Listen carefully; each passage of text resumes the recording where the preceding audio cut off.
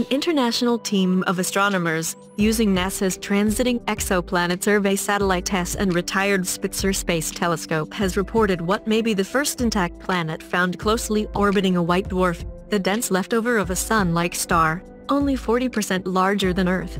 The Jupiter-size object, called WD-1856b, is about seven times larger than the white dwarf, named WD-1856 plus 534. It circles the stellar cinder every 34 hours, more than 60 times faster than Mercury orbits our sun WD-1856b somehow got very close to its white dwarf and managed to stay in one piece, said Andrew Vanderburg, an assistant professor of astronomy at the University of Wisconsin-Madison. The white dwarf creation process destroys nearby planets, and anything that later gets too close is usually torn apart by the star's immense gravity. We still have many questions about how WD-1856b arrived at its current location without meeting one of those fates. A paper about the system, led by Vanderburg and including several NASA co-authors, appears in the September 17 issue of Nature and is now available online. TESS monitors large swaths of the sky, called sectors, for nearly a month at a time.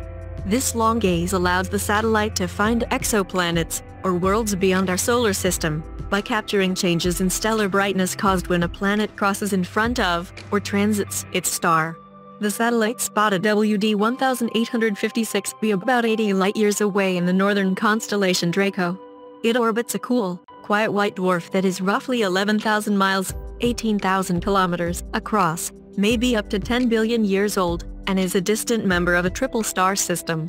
When a sun-like star runs out of fuel, it swells up to hundreds to thousands of times its original size, forming a cooler red giant star. Eventually, it ejects its outer layers of gas, losing up to 80% of its mass. The remaining hot core becomes a white dwarf. Any nearby objects are typically engulfed and incinerated during this process, which in this system would have included WD-1856b in its current orbit. Vanderburg and his colleagues estimate the possible planet must have originated at least 50 times farther away from its present location.